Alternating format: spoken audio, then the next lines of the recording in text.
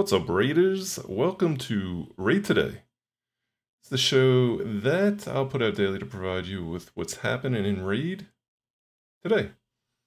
I'm Gestal from Gestal Gaming. Let's check out what's going on in Raid Shadow Legends.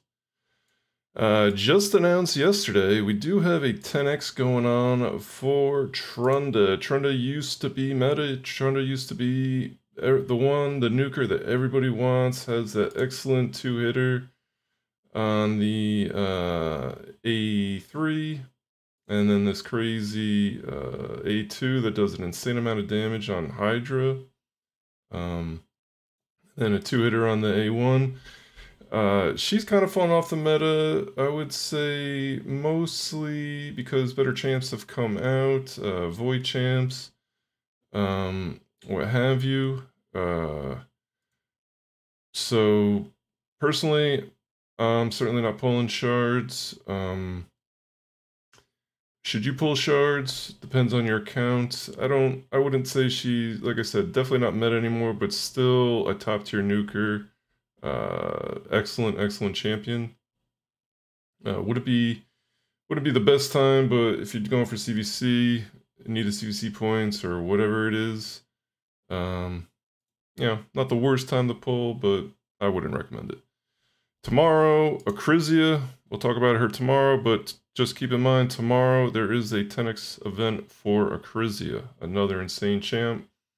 Um, she is currently meta, so we'll talk more about that tomorrow. Uh, but talking about CVC, we do have CVC started. Uh, it is a two-day event. We're a good uh, 10 hours into it already, and we're losing. That's okay. It is not a personal rewards CVC, so our clan takes a little easier. It'd still be nice to push back up here, at least get one of these accessories. We'll see what happens. Uh, the best way I approach um, CVC, uh, especially for these non-personal rewards, I just look for kind of free points wherever you can get it. Um, Tag Team Arena, great place. Uh, set your defense to a single single team defense and uh, get down to that lower ranks and then work your way back up. You do get 20 free tokens a day. Uh, you have to start spending gens after that. Keep that in mind. And don't forget to reset your defense some point tomorrow, uh, or you're going to get probably stuck uh, falling down uh, to the tier below you. Classic Arena, you get about 30 tokens a day. Excellent place to get some points. You don't get nearly as many points as you do in tag team, but uh, still a good way to get points. Forge, Forge is the best place for me. I think you get a ton of points. Um, I would say hang on to your Forge resources until CVC. Honestly, I would say hang on to them until a personal reward CVC because you do you can get 500 points for a six star Lego, uh, and you might get two or three of those in a 10 pull. That's a that's a ton of points. I mean, you could easily see between a thousand and 2,500 points just from a 10 pull. In the Forge, um, we do have Lethal. Uh, it is Dark Fey and Doom Tower, so you know, good time to start building your lethal out. And Righteous from the Forge Pass, I'm very excited to, to roll those and to see what I get. And we'll probably be doing that today in stream. Uh, get those CVC points up. And uh, yeah, those are basically the ways to do it. Uh, I also would recommend saving your energy. Even, you know, you save as much as you can uh, starting like Monday mornings, the day before CVC, so you can uh, push pretty hard in the uh, in CVC and give your give your team give your uh, clan a lot of points. You want to help the clans out, right? And then uh, Thursday, just a note, we do have Great Hoof Loriaka. We got her fragment event starting. Keep that in mind. Maybe you don't want to use everything there in CVC. Try to keep some of those resources you're definitely going to need. Um, Definitely going to need some shards to pull. So, uh, you know, maybe hold off on those Trunda pulls. Um, so you can pull this weekend and help you get a little closer to getting that great hoof if you're going for her. I did do a video on her where honestly don't think she's very I don't think she's very good at all, but On the main account, I go for all new champs. So I will be going for on my main account. Free to play is it is an easy skip. All right, let's look at tournaments and events. Tournaments going on right now. Spider. Spider is probably the best place to farm. It is the quickest dungeon. Um, you don't have waves to clear. And uh, you also get the most silver for your efforts. Uh, you're selling accessories, whatever it is. Um, and they have a tournament for it. They're in CVC. Excellent.